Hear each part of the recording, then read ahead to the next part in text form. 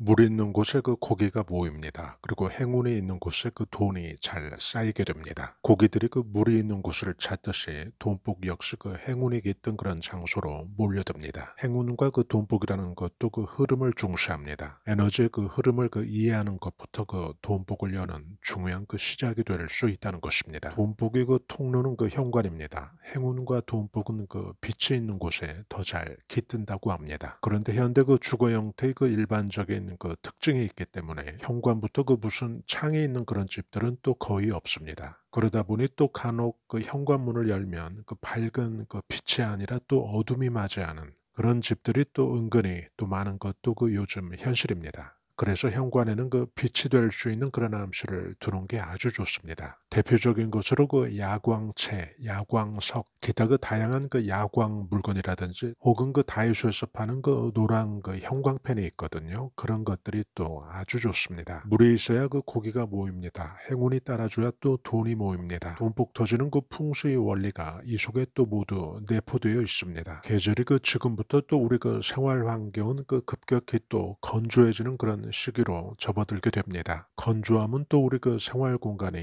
늘그 물기운 부족의 그 환경으로 또 진행됨을 의미합니다. 돈복이 터지고 또 행운이 그 지속되려면 집안 환경은 또 너무 건조하면 안 좋습니다. 행운이 깃드는 그런 환경이 되려면 행운과 그 재물의 그 접점을 또 우리는 그 만들어줄 필요가 있습니다. 이때 그 행운도 또 물의 그 흐름을 타고 또 잘 들어옵니다. 그래서 여러분들께서 그 매일 떠놓는 그 물그릇도 돈의 그 흐름을 또 맑고 원활하게 그 유지시켜주는 그런 작용이 있습니다. 그리고 북쪽 구역인 그 무리 구역이 또 어떤 그 장소 못지않게 또 중요해집니다. 적어도 그북 북쪽 공간이 그 불필요한 어떤 그 물건으로 또 막혀 있지 않은 지 집의 그물의 구역인 그 북쪽 구역을 늘 그 확인을 해 주셔야 합니다. 물의 구역은 또 동시에 그 집안으로 돈복을 유입시키는 돈복의 그 통로 구실이라는 것 우리가 또 꼭 기억을 해야 되겠죠. 그런 집은 그 돈이 그 막히지 않습니다. 또 돈이 그 자기 발로 그 퇴적물처럼 또 와서 쌓이게 됩니다.